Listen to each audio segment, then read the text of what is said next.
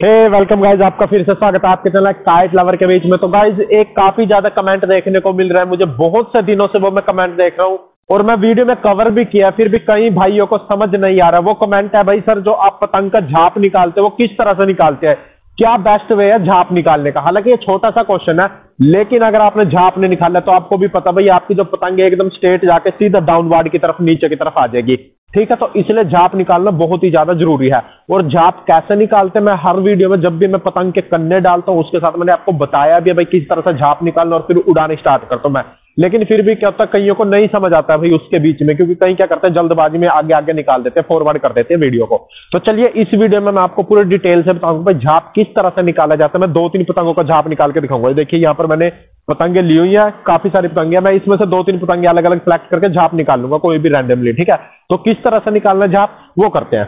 सबसे पहले मैं पतंग ये ऊपर वाली ले लेता हूँ येलो कलर की। तो चलिए, मैं पहले एक पतंग निकाल लेते हैं इसके बीच में से। ये मैंने यहाँ पर होरों को मैं नीचे रख देता हूँ।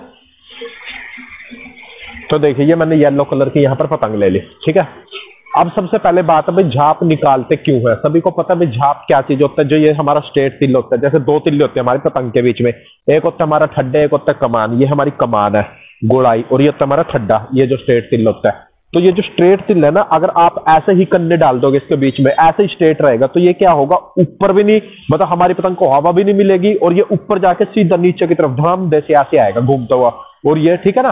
तो इसलिए हमें क्या करना होता है, इसको थोड़ा सा बैंड करना होता है। ये जो हमारा स्ट्रेट तिल्ला बिल्कुल दिख रहा है, इसको थोड़ा सा बैंड करना है, हल्का सा। अब वो बैंड कहाँ से करना है, उस चीज़ को हम झाप बोलते हैं बैंड करने का मतलब थोड़ा सा गोलाई की शेप को देना, ठीक है? अब वो कैसे दिया जाता है, देखो, बच्चे क्या करते हैं यहाँ से एक कोना ये पकड़ा, एक कोना ये पकड़ा और बीच में से इस तरह से हाथ से बैंड कर देते ये बिल्कुल गलत है, इससे क्या होता है, तिल्ला क्रैक हो जाता है, टूट जाता है। और मान लो अगर तिल्ला ना भी टूटे और ऐसे करे तो ऐसे करने से क्योंकि यहाँ से बैंड होगा, हमारा बीच से। यहाँ बीच से बैंड होगा, जो बिल्कुल ही गलत वे है। यहाँ से हम झाप नहीं निकालते। हमें झाप कहाँ से निकालना होता है दरअसल में? ये इस एरिया से लेके इस एरिया के बीच में सिर्फ़ इतने एरिया में हमें झाप निकालना ये इतने एरिया में, ताकि यहाँ से सिर्फ़ बैंड हो जाए हमारा तिल्ला। ठीक है? अब वो निकालना कैसे है? आपको सिर के ऊपर इधर से रखना, बीच में नहीं रखना, सिर्फ़ यही पोर्शन सिर के ऊपर रखना है यहाँ पर, जहाँ से आप बैंड कर रहे हो। अब यहाँ से ऐसे बैंड नहीं करना, ऐसे तो फिर से टिल्ला टूटने के चांस है तो आपको क्या करना ये जो आपका हाथ है, ठीक है? लेफ़्ट हो राइट हो, कोई भी हो, इस तरह से इस तिल्ले के ऊपर ऐसे रखना देखो, ध्यान से देखो, ये है ना, ये बिल्कुल स्ट्रेट में ऐसे, ये रखा अपने हाथ, और फिर हल्का हल्का पुश करना नीचे की तरफ़, ये देखो। बिल्कुल पूरा प्रेशर से नहीं करना, फिर टूट जाएगा ये तो तिल्ला आपका। ये देखो, हल्का हल्का ऐसे, बस। ज़्यादा नहीं करना। ये देखो, गुलाई मिल गई होगी आपको। ठीक है? ये देखो, यहाँ पर भी। ये देखो, तेल लग गया। हल्की सी गुलाई आपको देखने को मिल रही होगी। अगर मैं इसको ऐसे बैंड करूँगा तो यहाँ से देखिए।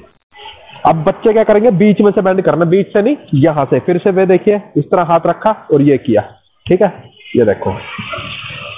और ज़्यादा करोगे तो पिल्ला क्रैक हो जाएगा। ये देखो, यहाँ से तेल भी लग गया और ये देखिए बैंडिंग आपको दिख रही होगी। चलिए, मैं दूसरी पतंग लेकर दिखाता हूँ आपको। तो मैं निकाल लेता हूँ। कोई दूसरी पतंग निकालता हूँ। ये मैं कैरेट कलर की पतंग निकाल लेता हूँ यहाँ पर। कैरेट आती है। या ये निकालता हूँ। ये वाली ठीक है। पिंक कलर की पतंग।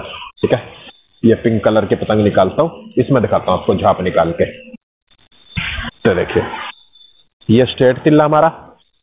और ना ये जो स्ट्रेट तिल्ला है ना, ये कहीं मतलब बहुत मोटा तिल्ला होता है और कहीं का बड़ा बारीक तिल्ला होता है। इसका ध्यान देना। अगर बिल्कुल बारीक है ना तो आपने ध्यान से झाप निकालना क्योंकि वो तो पहले बारीक और आप झाप निकालोगे तो कटक नहीं टूट जाएगा। और मोटा तिल्ले मोटे तिल्ले का आपने झाप निकालना वो भी बड़े ध्यान से। पहली बात आपने जब पतंग सेलेक्ट करोगे ना तो सिलेक्ट करते हो आपने मोटे तिल्ले की पतंग सेलेक्ट नहीं करनी है। और एक और चीज़ है, मैंने वीडियो बनाई भी हुई थी भाई, आप पतंग किस तरह से सिलेक्ट कर सकते हो, दुकान पे जाके, वो भी मैंने वीडियो बनाया चलिए, इसको निकालना हमें तो हमें क्या करना है, इस तरह सिर पे रखना वो एरिया और फिर ये साथ को, ये जो है, मेरा राइट हैंड है, इसको मैंने ऐसे रखा। और यहाँ से इसको हल्का सा ऐसे बंद कर दिया। ठीक है देखो। गुलाई ऊपर से भी आपको देखने को दिख रही होगी। ठीक है, ये देखो, ऐसे ऐसे इसको हल्का सा प्रेस कर दिया मैंने।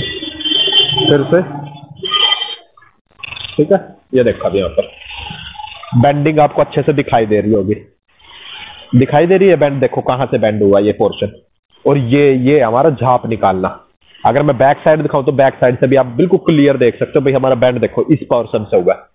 यहाँ। और यही पोर्शन हमें ये बीच का पोर्शन हमें बैंड करना, सिर्फ़ ये पोर्शन बैंड करना होता हमें। ताकि हमारी जब पतंग उड़े, ये देखिए, कितनी बढ़िया यहाँ पर हवा क्रॉसिंग भी हो। मतलब बीच से हवा नहीं क्रॉस होगी सैडो से हवा क्रॉस होगी हमारी पतंग की, क्योंकि बीच से होगी, फिर तो अच्छे से उड़ाई नहीं देगी। ये देखिए, ये चीज़ करनी है हमें, बड़ी आसानी से। तो होप करता हूँ आप समझ गए होंगे बैंड करने का वे एक आधी पतंग का मैं और निकाल के दिखा देता हूँ आपको।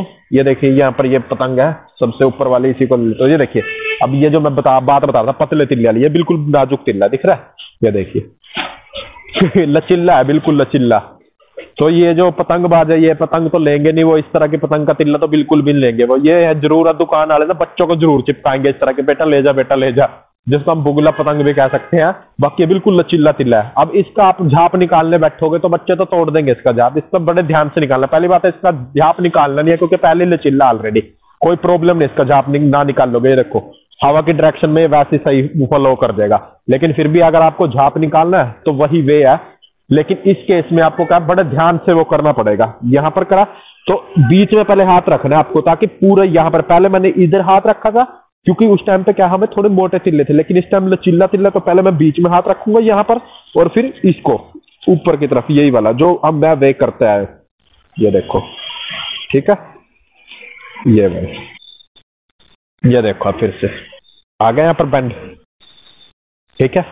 इस तरह। बस बीच में, अगर यहाँ से करके मैं ऐसे करके, ऐसे करता तो मैं, मेरे से तो हो जाता है, लेकिन आप करते तो इधर से ये जो पोर्शन है क्रैक हो जाता है, क्योंकि ये पहले इतना लचिल्ला है, इतना पतला तिल्ला है। तो फिर कहाँ पर ये हो पाता? तो गाइज़ होप कर तो आप समझ गए होंगे किस तरह से झाप निकाला जाता है वीडियो का। अगर आप समझ गए तो एक लाइक ज़रूर दीजिएगा वीडियो को। चैनल तो आपने सब्सक्राइब कर ही रखा होगा। और शेयर ज़रूर कर दीजिएगा फ्रेंड्स के साथ। और जिनको भी नई चीज़ें सीखनी है या फिर जिनको अभी भी कुछ भी प्रॉब्लम आ रही है, जैसे पतंग उड़ाने प्रॉब्लम आ रही है सर हमें, या हमें डोर कैसे तेज़ी से लपेट सकते हैं अपने चरखड़े के ऊपर उसको समझाइए, या कुछ भी जो भी प्रॉब्लम आ रही है कमेंट कर दे करो कोई प्रॉब्लम नहीं बेझिझक होकर मैं आपकी मतलब हर कोई कमेंट को रीड करता हूँ, फिर देखता हूँ, भाई हाँ इसके टॉपिक के ऊपर मुझे वीडियो बनाना चाहिए। तो करता हूँ वीडियो आपको अच्छा लगा अच्छा लगता है लाइक ज़रूर करें काइट लवर को। Thanks guys